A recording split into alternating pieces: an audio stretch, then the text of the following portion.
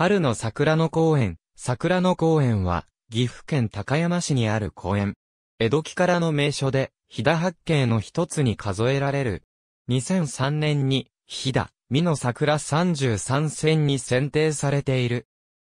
広瀬城からの花見桜の公園の夜桜地図、桜野の起源は、戦国時代の武将で、広瀬城城主、広瀬隆史が、大和国吉の山から7種類、およそ500本の桜苗を取り寄せて、城から一望できる、宮川対岸のあぜ、現在の桜の公園一帯に植えさせて、花見を楽しんだとされ、その記述が、飛騨と冬時に、挿絵と共に見られる。飛騨軍代であった上倉新門が、明和元年に、必州重慶図の和歌を読んだ中に、桜野があり、翌年に、加賀千代女が、必州重慶図に、広瀬の桜狩りを読んでいる。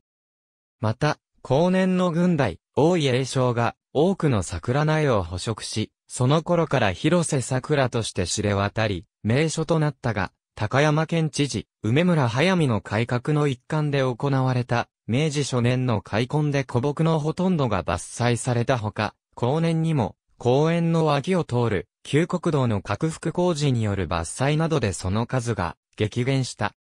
現在は、地元の有志などで保存を推進し、ソメイヨシノや山桜など、約300本が現存する。開花時期になると、宮川藩に広がる桜並木は、ライトアップされ夜桜も楽しめる。